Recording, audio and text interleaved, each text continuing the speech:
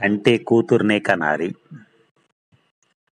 రామయ్య సీతమ్మ దంపతులకు ఇద్దరు పిల్లలు ఒక కూతురు ఒక కొడుకు. కొడుకు పేరు ఆదిత్య కూతురి పేరు అభిలాష. రామయ్య తనకున్న నాలుగు ఎకరాల పొలంలో వ్యవసాయం చేస్తూ కుటుంబాన్ని పోషించేవాడు. సీతమ్మ మిషన్ కుట్టి పదో పరకవ సంపాదిస్తూ ఉండేది.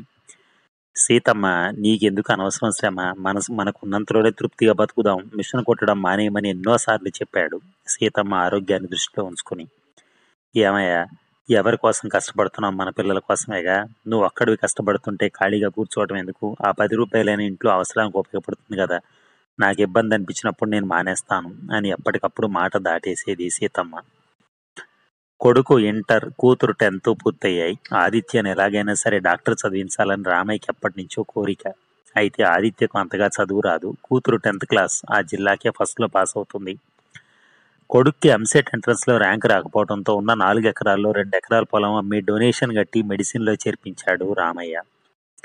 పక్కనే ఉన్న పట్టణంలోని హాస్టల్కి వెళ్ళిపోయాడు ఆదిత్య మెడిసిన్ చదవడానికి. వెళ్ళేటప్పుడు రామయ్య కొడుకు భవిష్యత్తు గురించి ఎన్నో జాగ్రత్తలు చెప్పి పంపించాడు. అభిలాషను కూడా చదివించాలి అంటే కష్టం కదా. అందుకే ఊరిలోని గవర్నమెంట్ కాలేజీలో ఇంటర్లో చేర్పించాడు. అభిలాష నాన్న కష్టం గుర్తించి తన ఫీజులకు అవసరమైన డబ్బు తానే సంపాదించుకోవాలని నిర్ణయం తీసుకుంది. అలా చిన్నపిల్లలకి ట్యూషన్ చెప్తూ తన చదువుకు అయ్యే ఖర్చు అనే సంపాదించుకోవటం ఇంకా అప్పుడప్పుడు ఇంట్లో ఖర్చులు కూడా అమ్మకి సహాయం చేయటం నేర్చుకుంది. అలా మరో రెండు సంవత్సరాలు గడిచిపోయాయి. అభిలాష్కి ఇంటర్ పూర్తవడంతో వాళ్ళ నాన్న ఇంక చదివించలేనని ఒక మంచి సంబంధం చూసి పెళ్ళి చేస్తాను అని సీతమ్మతో అన్నాడు. అయితే సీతమ్మ అయ్యో అయ్యా ఇప్పుడే పెళ్ళెందుకు? అలాగే ఏదో గవర్నమెంట్ కాలేజీలో చేరితే మామూలు డిగ్రీ అనే చదువుకుంటుంది కదా అది కాక తన చదువుకు అయ్యే డబ్బు తనే సంపాదించుకుంటోంది. ఒకసారి ఆలోచించు అంది. సీతమ్మ చెప్పింది కూడా నిజమే అనుకున్న రామయ్య అభిలాషను గవర్నమెంట్ కాలేజీలో బీకామ్ డిగ్రీలో చదివించాడు. అక్కడ కూడా అభిలాష తన తెలివితేటలతో స్కాలర్షిప్ సంపాదించి చదువుకుందే తప్ప ఒక్క రూపాయి కూడా ఫీజు కట్టలేదు. అలా డిగ్రీ మూడు సంవత్సరాలు పూర్తి చేసింది. డిగ్రీలో యూనివర్సిటీ తరపున గోల్డ్ మెడల్ సంపాదించింది. ఈలోగా ఎలాగో కింద మీద పడి ఆదిత్య మెడిసిన్ పూర్తి చేశాడు. అయితే ఆదిత్యకున్న నాలెడ్జిపై కాలేజీకి పై చదువులు చదివే అవకాశం లేకపోవడంతో ఇక్కడే ఏదో ఒక హాస్పిటల్లో అసిస్టెంట్ డైరెక్టర్గా చేరడం తప్ప మరో అవకాశం కనపడలేదు రామయ్యకి. ఆ ఉద్యోగం కోసం కూడా ఎంతో మంది పోటీ పడుతున్నారని తెలుసుకున్న రామయ్య ఎంతో మందిని బతిమలాడి కొంచెం లంచం ఇచ్చి ఆదిత్య జీవితానికి ఓ దారి చూపించాడు. ఆదిత్య తన మాటకారితనంతో చిన్నగా ఉద్యోగంలో ఒక్కో మెట్టు ఎక్కసాగాడు. ఆదిత్యకున్న తెలివితేటల కన్నా ఆదిత్యకున్న మాటకారితనమే తనకు ఉద్యోగంలో ఎదిగే అవకాశం కల్పించింది అంటే అతిశయోక్తి కాదేమో. ఆదిత్యకు ఆ ఉద్యోగం రాగానే అభిలాష్కు మంచి సంబంధం చూసి పెళ్ళి చేశారు. తనకున్న రెండెకరాల పొలంలో ఒక ఎకరం కూతురికి కట్నం ఇచ్చి ఒక ఎకరం కొడుకు కోసం ఇచ్చాడు. ఎకరం పొలం తప్ప కూతురికి తను ఏమీ ఇవ్వలేదు. అయినా కానీ అల్లుడు చాలా మంచివాడు.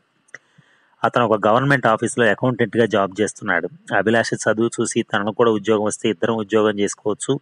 అప్పుడు జీవితం ప్రశాంతంగా సాగిపోతుందనే ఉద్దేశంతో కావాలనే అభిలాషను పెళ్ళి చేసుకున్నాడు. పెళ్ళైన తర్వాత అభిలాష కూడా ఒక ప్రైవేట్ కంపెనీలో జాబ్ చేరిపోయింది. ఆదిత్య తను వర్క్ చేసే దగ్గర తనతో పాటు పనిచేసే హారికని ఇష్టపడుతున్నానంటూ పెళ్ళంటూ చేసుకుంటే తననే చేసుకుంటానని తండ్రితో చెప్పాడు. నీ ఇష్టాన్ని మేము ఎప్పుడైనా కాదన్నాము. నీ ఇష్టమే మా ఇష్టం అన్నారు రామయ్య సీతమ్మ. అయితే వాళ్ళు కూస్తో కాస్తో అయిన వాళ్ళు కావడంతో ఉన్నవాళ్ళు కావటంతో హారిక వాళ్ళ ఇంట్లో నువ్వు మా అమ్మాయిని పెళ్ళి చేసుకోవాలంటే మా ఇంటికి ఇల్లరికని రావాలని కండిషన్ పెట్టారు. ఆ మాటలు విన్న రామయ్య ఒరేయ్ మాకున్నది నువ్వు అక్కడవే. నీ మీదనే ఎన్నో ఆశలు పెట్టుకుని బతుకుతున్నాం. నువ్వు లేకపోతే మేమేమైపోవాలంటూ కన్నీరు పెట్టుకున్నాడు. నాన్న నేను హారిక లేకుండా బతకలేను. అయినా నేను దేశాలు పట్టిపోతున్నా నా పక్కనే కదా ఉంటాను. మీకు ఎప్పుడే అవసరం వచ్చినా ఫోన్ చేస్తే అరగంటలో మీ ముందుంటాను. దయచేసి నా ప్రేమను అర్థం చేసుకోండి అన్నాడు ఆదిత్య. కొడుకు అంత చెప్తుంటే రామయ్య కాదని లేక సరే అన్నాడు. సీతమ్మ మాత్రం పెళ్ళికి ససేమరా ఒప్పుకోలేదు. ఆదిత్య తండ్రి ఒప్పుకున్నాడు అంతే చాలనుకుని హారికను పెళ్ళి చేసుకున్నాడు.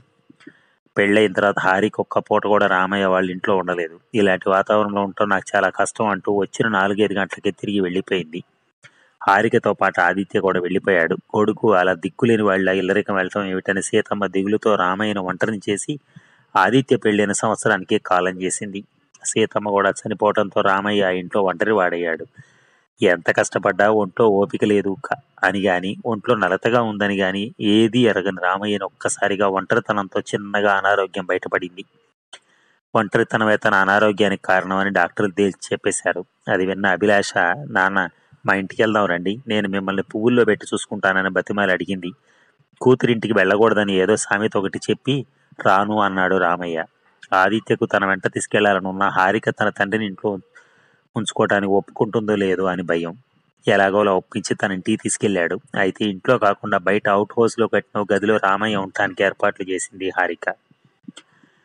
ఏమోలే కోడలు ఈ మాత్రమేనా ఉండనిచ్చింది.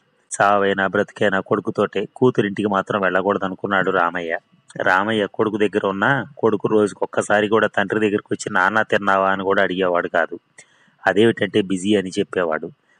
రాను రాను రామయ్యకు బతకాలని ఆశ చచ్చిపోసాగింది. సీతమ్మ నువ్వు వెళ్ళిపోతూ నన్ను కూడా నీతో తీసుకెళ్ళిపోకుండా నువ్వు నీ స్వార్థం చూసుకుని నాకు అన్యాయం చేసి వెళ్ళిపోయావు. చివరికి నువ్వు కూడా నన్ను అన్యాయం చేసావు కదూ? నన్ను ఒంటరి వాడిని చేసి. పాతిక సంవత్సరాలు నా కష్ట సుఖంలో నాకు తోడుగా ఉన్నావు. అలాంటిది ఈ చివరి రోజుల్లో నన్ను ఇలా ఒంటరిగా వదిలేసి వెళ్ళిపోవడానికి నీకు మనసు ఎలా ఒప్పింది? అని కుమిలిపోతూ బాధతో దిగులుతో తిండి సరిగా తినక రోజు రోజుకి చిక్కిపోసాగాడు రామయ్య. నెల రోజుల తర్వాత ఒక రోజు కొడుకు కనిపిస్తే ఒరే ఆదిత్య నాకు కళ్ళు సరిగా కనపడటం లేదు. ఒకసారి డాక్టర్ దగ్గర తీసుకెళ్ళి కళ్ళజోడు తిప్పిస్తావా? అని అడిగాడు మనసు చంపుకుని. సరే నాన్న రేపు తీసుకెళ్తాను. డాక్టర్ అపాయింట్మెంట్ తీసుకోవాలి కదా? అన్నాడు ఆదిత్య. ఆ ఒక్క మాటకే రామయ్య ఎంతో పొంగిపోయాడు. అయితే ఈ మాటలు విన్న హారిక ఏమండి ఒక వయసు వచ్చాక కంటికి చూపు దెబ్బ దెబ్బతింటడం సహజం. దానికి డాక్టర్ అవసరమా? రేపు మనకి ముఖ్యమైన ఆపరేషన్ కేసు ఒకటి ఉంది. ఆ ఆపరేషన్ సక్సెస్ అయితే చాలా డబ్బు వస్తుంది అది ఒక రాజకీయ నాయకుడు కొడుకు సంబంధించిన ఆపరేషన్. తన కొడుకును ప్రాణాలతో తనకు అప్పగిస్తే భారీ మొత్తంలో డబ్బు ఇస్తానని చెప్పాడు. మర్చిపోయారా? అన్నది హారిక. సరే నిదానంగా నాన్నకు చూపిద్దాం. ముందు ఆపరేషన్ సంగతి చూద్దాం అన్నాడు ఆదిత్య. భార్య మాటలు బాగా తలకెక్కి తండ్రి డాక్టర్ తిరిగి తీసుకెళ్ళాలనే విషయం కూడా మర్చిపోయాడు. అలా మూడు నెలలు గడిచిపోయాయి. కొడుకు పాపం క్షణం తీరిక లేకుండా కష్టపడుతున్నాడు. నేను పదే పదే అడిగి విశ్వించడం న్యాయం కాదనుకొని రామయ్య సర్దుకుపోతున్నాడు. అయితే రోజు రోజుకి రామయ్య కంటి చూపు తగ్గిపోసాగింది. ఓ రోజు రామయ్య కళ్ళు కనపడక బయటికి వెళ్ళటం కోసం హారిక రెడీ చేసి పెట్టుకున్న లంచ్ బాక్స్ తన్నేశాడు. దానికి హారిక కోపం వచ్చి ఆవేశంలో మామగారు అన్న విషయం కూడా మర్చిపోయి నోటికొచ్చినట్టు మాట్లాడసాగింది. కోడలన్న మాటలకి రామయ్య మనసు ముక్కలైపోయింది. ఈ విషయం కొడుకుతో చెప్పి కోడల చేత క్షమాపణ చెప్పించుకోకపోయినా కనీసం తను చేసిన తప్పైనా తనకు తెలిసేలా చేయాలనుకున్నాడు రామయ్య. ఆ రోజు రాత్రి పది గంటల వరకు కొడుకు కోసం ఎదురు చూస్తూనే ఉన్నాడు రామయ్య. కారు సౌండ్ హారన్ విని కొడుకు వచ్చాడని గ్రహించిన రామయ్య హడావిడిగా కారు దగ్గరికి వచ్చి ఆదిత్య నీతో కొంచెం మాట్లాడాలి. ఓ పది నిమిషాలు నా గదిలోకి వస్తావా? అని అడిగారు. నాన్న ఇప్పుడా? ఇప్పటి వరకు వర్క్ చేసి చేసి అలసిపోయాను. అయినా ఇప్పుడు అంత అర్జెంటుగా మాట్లాడటానికి ఏముంది? రేపు ఉదయం మాట్లాడుకోవచ్చు కదా? అన్నాడు. అది కాదురా ఆదిత్య ఒక్కసారికి నా మాట విని ఒక్క పది నిమిషాలు నీతో మాట్లాడాలంటూ చేయి పట్టుకుని బలవంతం చేశాడు. ఇక తప్పేలా లేదనుకున్న ఆదిత్య తండ్రితో కలిసి తండ్రి గదికి వచ్చాడు. ఆ గది అంతా దుమ్ముతో ఎక్కడ బట్టలు అక్కడే ఎక్కడ వస్తువు అక్కడే పెట్టి చూడటానికి అసహ్యంగా ఉంది. నాన్న ఉదయం నుంచి రాత్రి పడుకోపోయే వరకు ఖాళీగానే ఉంటావు కదా? ఈ గది శుభ్రం చేసుకోవచ్చుగా? అన్నాడు ఆదిత్య. ఈ వయసులో కాళ్ళు చేతులు సహకరించక ఇలా నీ ఇంట ఉంటున్నాను. అన్ని సరిగా ఉంటే నా ఇంట్లోనే ఉండేవాడిని అన్నాడు ఆవేశం తట్టుకోలేక రామయ్య. తండ్రిని అంత కోపంగా ఎప్పుడు చూడని. ఆదిత్య సైలెంట్ అయిపోయాడు. సరే నాన్న ఇంతకేదో మాట్లాడాలన్నావు కదా అదేంటో చెప్పు. నాకు బాగా నీరసంగా ఉంది నేను పడుకోవాలన్నాడు. ఉదయం కోడలన్న మాటలు చెప్పి ఒరేయ్ మరీ అంత దారుణంగా చూడమాకమని నేను మనిషినే నాకు మనసుంటుంది అని నేను నీ తండ్రి అని ఒకసారి గుర్తు చేయరా? అన్నాడు రామయ్య. నాన్న హారిక అన్న దాంట్లో తప్పే ఉంది. మీరు కళ్ళు కనపడని వాళ్ళు మీ గదిలోనే ఉండొచ్చు కదా. మీరు తగుదునమ్మా అంటూ బయట తిరగడం ఎందుకు? తను మళ్ళీ అంత కష్టపడి ఆ బాక్స్ రెడీ చేసుకోవాలి. తనకు అంత టైం ఉంటుందా? అదిగాక తన మీదే నాకు చాడీలు చెప్తున్నావా? మరి ఇలా తయారయ్యేమిటి అన్నాడు ఆవేశంగా ఆదిత్య. ఒరే ఆదిత్య మీ ఆవిడ వంట అమ్మాయి వంట చేసి బాక్స్ ఇస్తే తీసుకెళ్తానికి అంత కష్టపడిపోతుంది అనుకుంటున్నావు. మరి కళ్ళు కనపట్టలేదు ఒకసారి డాక్టర్ దగ్గరికి తీసుకెళ్ళి చూపించమని నిన్ను అడిగి మూడు నెలల పైనే అయిపోయింది. నువ్వు ఇంతవరకు చూపించలా. మరి నా పరిస్థితి ఏంటి? నేను ఎంత కష్టపడుతున్నానో నీకు కనిపించడం లేదా? అన్నాడు రామయ్య. నాన్న దీనికేనా ఇంత రాద్ధాంతం చేస్తున్నావు? నా ఖాళీగా ఉంటే తీసుకెళ్ళనా? ఓ డాక్టర్గా నేను ఎంత బిజీగా ఉంటానో నీకు తెలుసా? రేపు సరే రేపు ఉదయం తీసుకెళ్తాను ఇక ఆపు అంటూ వెళ్ళిపోయాడు ఆదిత్య. మరుసటి రోజు ఉదయం తప్పనిసరి పరిస్థితిలో ఆదిత్య తండ్రిని తీసుకుని ఐ స్పెషలిస్ట్ దగ్గరికి బయలుదేరాడు. తండ్రి అలా మాసిపోయిన బట్టలతో చింపిరి జుట్టు పిచ్చి అవతారంతో రావడం చూసి ఇబ్బందిగా ఫీల్ అవుతూ డ్రైవర్తో ఆయన జాగ్రత్తగా చేయబట్టుకుని లోపలికి తీసుకురా తను ముందుకు వెళ్ళిపోయాడు. ఐ స్పెషలిస్ట్ రామయ్య కళ్ళు చెక్ చేసి డాక్టర్ ఆదిత్య అతను మీకు ఏమవుతారు అతనికి ఒక కన్ను పూర్తిగా చూపిపోయింది. అంటే అతనికి ఎప్పటి నుంచో కంటిలో సుక్కలాలు నీటి కాసులు ఉన్నాయి. ఒక కంటిలోని నీటి కాసులు పగలటం వలన కంటి చూపుపోయింది. రెండో కంటిలో కూడా శుక్లం బాగా ముదిరిపోయింది. అర్జెంటుగా ఆపరేషన్ చేయాలి. లేదంటే శాశ్వతంగా గుడ్డివాడైపోతాడు. అన్నాడు డాక్టర్. ఆ మాట విన్న ఆదిత్య సరే వెంటనే ఆపరేషన్కి ఏర్పాటు చేయండి. ఇప్పుడే అడ్మిట్ చేస్తాను. రేపు ఉదయం ఆపరేషన్ చేసేయండి. ఎంత ఖర్చైనా పర్వాలేదు అంటూ బయటకు వచ్చిన ఆదిత్య హారికకు ఫోన్ చేసి ఈ విషయం చెప్పాడు. ఇప్పుడు ఆయన రెండు రోజుల పాటు హాస్పిటల్లో కనిపెట్టుకుని ఉంటాం మనకు కుదరదు కదా. మీకు తండ్రి అయినట్టే అభిలాషకు కూడా తండ్రే కదా. అభిలాషకు కూడా ఫోన్ చేసి చెప్పండి. ఆవిడే చూసుకుంటుంది అంది హారిక. హారిక సూపర్ ఐడియా ఇచ్చావు. నీకు నీ తెలివితేటలు ఎక్కడున్నాయి? నీ సలహా కోసమే ఫోన్ చేశాను. సరే ఉంటాను. వెంటనే అభిలాషకు ఫోన్ చేసి విషయం చెప్పాలిగా అంటూ ఫోన్ పెట్టేశాడు. వెంటనే ఆదిత్య అభిలాష్కు ఫోన్ చేశాడు. ఎప్పుడు ఫోన్ చేయని? అన్నయ్య తనకు ఫోన్ చేస్తుంటే ఆశ్చర్యంగా చూస్తూ ఒకవేళ నాన్నకి ఏదైనా ఇబ్బంది ఏమో ఆరోగ్యం బాగాలేదేమో అని మనస్సు కీడు శంకిస్తుంటే వెంటనే ఫోన్ తీసి హలో అంది. హలో అభిలాష నేను ఆదిత్యని. నాన్నని నాన్నకి కంటి ఆపరేషన్ చేయాలంటే హాస్పిటల్లో జాయిన్ చేశాను. టూ డేస్ హాస్పిటల్లో ఉండాలి. నాకు బిజీ నీకు తెలుసు కదా. నాన్నని చూసుకోవడం నాకు కుదరదు. ఈ రెండు రోజులు వచ్చి హాస్పిటల్లో ఉండి నువ్వే నాన్నని చూసుకోవాలి. హాస్పిటల్ వివరాలు చెప్తాను. నోట్ చేసుకో అంటూ హాస్పిటల్ వివరాలు చెప్పి అభిలాష వస్తుందా రాదా అని తనకు మాట్లాడే అవకాశం కూడా ఇవ్వకుండా ఆదిత్య ఫోన్ పెట్టేశాడు. అప్పటికప్పుడు ఆఫీసులో రెండు రోజులు సెలవు కావాలని పర్మిషన్ తీసుకుని భర్తకు ఫోన్లో విషయం ఫోన్ చేసి విషయం చెప్పి మీరు ఆఫీస్ అయిపోయాక డైరెక్ట్గా హాస్పిటల్ తిరిగి వచ్చేయండి అని నేను హాస్పిటల్కి వెళ్తున్నానని. హాస్పిటల్కి బయలుదేరింది అభిలాష. అభిలాష రాగానే ఆదిత్య ఇంక నేను బయలుదేరుతున్నాను. ఇప్పటికే చాలా ఆలస్యం అయిపోయిందంటూ కనీసం ఎలా ఉన్నామని కూడా పలకరించకుండా ఆదిత్య హడావిడిగా వెళ్ళిపోతుంటే డాక్టర్ వెళ్ళిపోతున్న ఆదిత్యని పిలిచి డాక్టర్ ఆదిత్య రేపు ఉదయం ఆరు గంటలకు ఆపరేషన్. మీరు వస్తారా? మమ్మల్ని చేసేయమంటారా? అని అడిగాడు. నాకు రావటం కుదరదు. మీరే చేసేయండి. ఏదైనా అవసరం వస్తే తను ఇక్కడే ఉంటుంది కదా తను చూసుకుంటుంది. ఆమె అతని కూతురు అన్నాడు ఆదిత్య. ఇంతకా పేషెంట్ మీకు ఏమవుతారు అని అడిగాడు డాక్టర్. ఇలాంటి సమస్య ఏదో వస్తుందని ఊహించి హాస్పిటల్కి వచ్చిన హారిక అతను మా వారిని చిన్నప్పటి నుంచి పెంచాడు. ఆ అభిమానంతోనే అతన్ని ఆదిత్య హాస్పిటల్కి తీసుకొచ్చారు. అన్నది. ఆ మాటలు విన్న అభిలాష కోపం తారాస్థాయికి చేరింది. కానీ తనను తాను కంట్రోల్ చేసుకుని ఆపరేషన్ అయిన తర్వాత చూద్దాం అనుకుని హారిక వైపు సీరియస్గా చూస్తుంటే ఏంటి అభిలాష హారిక వైపు అలా చూస్తున్నావు? కొంపదీసి కొడతావా ఏంటి? అన్నాడు ఆదిత్య. అయ్యో అంత పెద్ద తప్పు నేను ఎందుకు చేస్తాను సార్? కన్న తండ్రికి అవమానం జరుగుతుంటే చూస్తూ ఉన్న కొడుకుని ఏమీ చేయలేని దాన్ని. ఆవిడ మాత్రం ఏం చేయగలను? అన్నది అభిలాష. ఆ మాట్లాడ ఆ మాట్లాడకు హారిక. చాలా ఆవేశంగా బయటికి వెళ్ళిపోయింది. ఆదిత్య కూడా సరే వెళ్ళి నానం చూసుకో తర్వాత మాట్లాడుకుందాం అంటూ హారికను అనుసరించాడు. మరుసటి రోజు ఉదయం ఆరు గంటలకు ఆపరేషన్ చేశారు. రామయ్య పరిస్థితి బాగానే ఉండడంతో సాయంత్రం ఆరు గంటలకు డిశ్చార్జ్ చేస్తామని డాక్టర్ చెప్పాడు. ఆ రెండు రోజులు అభిలాష ఆమె భర్త అర్జున్ రామయ్యని కళ్ళల్లో పెట్టి చూసుకున్నారు. డిస్ డిశ్చార్జ్ చేసినట్టుగా డాక్టర్ చెప్పడంతో ఆదిత్య హాస్పిటల్కి వచ్చాడు. అర్జున్ ఆదిత్యను పలకరించలేదు. ఆదిత్య కూడా అర్జున్ని పలకరించలేదు. ముందే మాట్లాడుకుని ఉండటం వలన అభిలాష నేను నాన్నని మా ఇంటికి తీసుకెళ్దాం అనుకుంటున్నాను. అనగానే మంచిది అన్నాడు ఆదిత్య. ఆ మాటలు విన్న రామయ్య మనస్సు మోగక రోధించింది. సరే మా నాన్నకి సంబంధించిన సామాను అవి మీ ఇంట్లో ఉన్నాయి కదా అవి తీసుకుని బయలుదేరతాం అంది అభిలాష. సరే పదండి అంటూ ఆదిత్య వాళ్ళని తీసుకుని తన ఇంటికి బయలుదేరాడు. అమ్మయ్య ఈ శని శాశ్వతంగా వదిలి వెళ్తుందని మనసులో సంతోషంగా పండగ చేసుకుంటున్నాడు ఆదిత్య. ఆదిత్య ఇంటి దగ్గరికి వెళ్ళగానే రామయ్య గదిలో ఉన్న సామాను మొత్తం పని అతని చేత అభిలాష వాళ్ళ కారులో పెట్టించాడు ఆదిత్య. రామయ్య ఆదిత్య దగ్గరికి వెళ్ళి ఒరే ఆదిత్య డబ్బు ముఖ్యం కాదు నీ ఆరోగ్య జాగ్రత్త టైంకి తిను టైంకి పడుకో ఉంటాను అంటూ బయలుదేరాడు.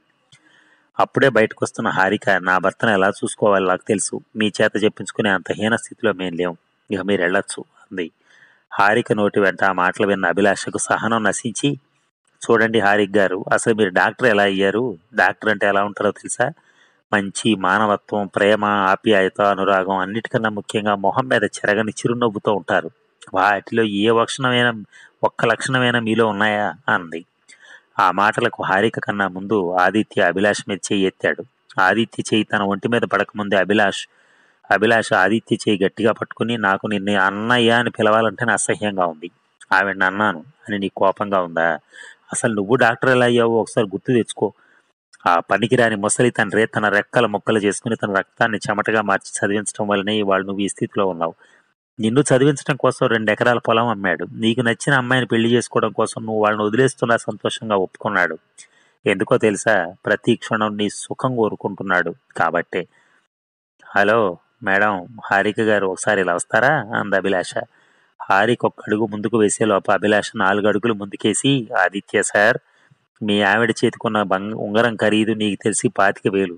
అది నువ్వు ఆవిడ గారికి పుట్టినరోజుకి ఇచ్చిన కానుక. కానీ దాని అసలు ఖరీదు ఎంతో నాకు తెలుసు. చెప్పమంటారా? అన్నది అభిలాష. హారిక ఆవేశంగా అభిలాష చాలా ఎక్కువగా మాట్లాడుతున్నావు. బోడి ఉంగరం గురించి నీకేదో తెలిసినట్టు మాట్లాడుతున్నావు. కేవలం మీ అన్నయ్య మీద ప్రేమతో ఇన్నాళ్ళు ఇది నా చేతికుంది ఇలాంటి ఉంగరాలు నాకు పెద్ద లెక్క కాదు అంది హారిక. హారిక ఆవేశంగా అభిలాష చాలా ఎక్కువగా మాట్లాడుతున్నావు. బోడి ఉంగరం గురించి నీకేదో తెలిసినట్టు మాట్లాడుతున్నావు. కేవలం మీ అన్నయ్య మీద ప్రేమతో ఇన్నాళ్ళు ఇది నా చేతికుంది ఇలాంటి ఉంగరాలు నాకు పెద్ద లెక్క కాదు అంది హారిక. హలో ఆదిత్య గారు విన్నారుగా? ఆఫ్టర్ ఆల్ పాతికి వేలు మీకు మీ ఆవిడకి. కానీ ఆ పాతికి వేలు ఎక్కడివో తెలుసా? ఈ రోజు నీ తండ్రి నిన్ను దేహి అని అడుక్కుంటున్న కంటి చూపు కోసం దాచుకున్న డబ్బు. ఆఫ్టర్ ఆల్ ఆ పాతికి వేలు కాదు. అలాంటి పాతికి వేలు ఎన్ని ఇచ్చినా తిరిగి నువ్వు ఇవ్వలేని కంటి చూపు ఖరీదు ఆ ఉంగరం ఖరీదు. నువ్వు నీ ప్రియురాలకి పుట్టినరోజు కానికి వాళ్ళని ఆశపడుతూ ఉంటే నిన్ను నిరాశపరచడం ఇష్టం లేక తన కంటి చూపు కోసం దాచుకున్న పాతికి వేలు నీ చేతిలో పెట్టాడు ఆ పిచ్చి తండ్రి. ఇన్ని జరుగుతున్నా నీ కళ్ళు తెరుచుకోకపోవడం చూస్తుంటే ఆశ్చర్యంగా ఉంది. అసలు మీరు డాక్టర్లు ఎలా అయ్యారు? కనీసం మీ దగ్గరికి వచ్చే పేషెంట్లతోనైనా మనుషుల్లా ప్రవర్తిస్తారా? లేక డబ్బు సంపాదనే ధ్యేయంగా చూస్తారా? నాకు అనుమానం వస్తోంది. ఒకవేళ మీరు డబ్బు సంపాదనే ధ్యేయం అనుకుంటే డాక్టర్ వృత్తి మానేసి ఏదైనా సారా కొట్టు పెట్టుకుని బతకండి. బిజినెస్ బాగా రన్ అవుద్ది అంటూ ఆవేశంగా అభిలాష. అప్పటికే చాలా ఎక్కువగా మాట్లాడుతుంది అనిపించిన అభిలాష భర్త అర్జున్ అభిలాష్ చేయబట్టుకుని కాపు నీ తండ్రి తీసుకుని మనం బయలుదేరదాం. వాళ్ళకి తండ్రి విలువ తెలియకపోయినా మనకు తెలుసు కదా అంటూ ఒక చేత్తో అభిలాషను మరో చేత్తో రామయ్యని పట్టుకుని ముందుకు కదిలాడు. వెంటనే ఆదిత్య అభిలాష చేయబట్టుకుని ఆపి వయసులో నాకన్నా చిన్నదానివైనా మనసులో నువ్వు నాకన్నా చాలా పెద్దదానివి. నాన్న పట్ల నేను ప్రవర్తించిన తీరుకు నన్ను క్షమించమని అడే అర్హత కూడా నాకు లేదు. కానీ నన్ను క్షమించమని అడుగుతున్నాను అంటూ అభిలాష్ కాళ్ళ మీద పడ్డాడు. చేసిన తప్పులకు ఆ ముసలి తండ్రి హృదయం ఎంతగా తల్లడిల్లిపోతుందో ఆ గుండె ఎన్ని ముక్కలైందో నీకు తెలుసా? నువ్వు క్షమించమని ఒక్క మాట్లాడితే సరిపోతుందా? అంది అభిలాష. వెంటనే రామయ్య తడుముకుంటూ వచ్చి ఆదిత్య చేయబట్టుకున్నాడు ఆదిత్య నాకు నీ మీద కోపం లేదు. నేను ఒక తండ్రిగా నా బాధ్యతలు నేను నెరవేర్చాను తప్ప నేను చేసిన గొప్ప ఏం లేదు. నువ్వు నిశ్చింతగా ఉంటుంది నేను చేసిన తప్పు ఒక్కటే. కొడుకుని కూతుర్ని సమానంగా చూడకపోవటం. ఆ రోజు నీ కోసం రెండు ఎకరాల పొలం అమ్మటానికి సిద్ధపడ్డాను. కానీ తెలివితేటలతో తను కష్టపడి చదువుకుంటాను నాన్న అంటే తనను చదివించలేదు. అదే నేను చేసిన పెద్ద తప్పు. ఆ తప్పుకు నేను శిక్ష అనుభవించాలి కదా అందుకే అనుభవిస్తున్నాను. నా గురించి ఎక్కువగా ఆలోచించకు. నేను పోతే మాత్రం నాకు నువ్వు తలకొరిగి పెట్టద్దు. ఇదే నా మొదటి కోరిక చివరి కోరిక. ఇక ఉంటా అంటూ అమ్మ అభిలాష వెళ్దామా అన్నాడు రామయ్య తండ్రి. అలా అడగడంతో ఆశ్చర్యపోయిన అభిలాష అలాగే నాన్న అంటూ బయలుదేరింది. ఇక నుంచి నేను నీకు నాన్నను కాదు నువ్వే నాకు నా అమ్మవి. ఇన్నాళ్ళు కొడుకునే గొప్ప అనుకున్నాను. కాదు కంటే కూతురునే కను అని ఇప్పుడు గర్వంగా చెప్తున్నాను అన్నాడు రామయ్య. ఆ మాటలు విన్న ఆదిత్య తండ్రి మనసులో స్థానం కోల్పోయానని తెలుసుకుని నాన్న క్షమించు. ఈ జన్మకి ఇంతకు మించి నాకు అవకాశం లేకుండా చేసుకున్నాను. మరో జన్మ అంటూ ఉంటే నీకే కొడుకుగా పుట్టాలని కోరుకుంటున్నాను అన్నాడు ఆదిత్య.